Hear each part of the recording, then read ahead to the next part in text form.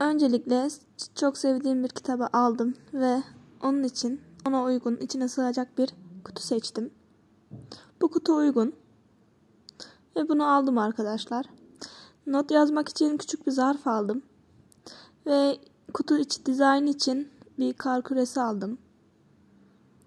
Ee, küçük bir tane de bisiklet aksesuarı aldım ama onu çekmeyi unutmuşum. Ve kutu içi süslemem için sahte gül yaprakları aldım.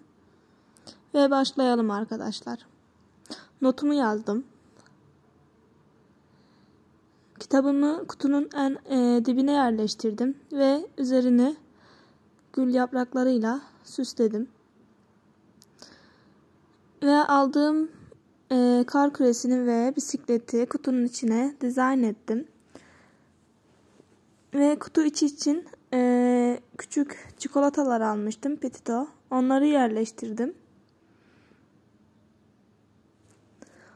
Son olarak da yazdığım notu üzerine koydum.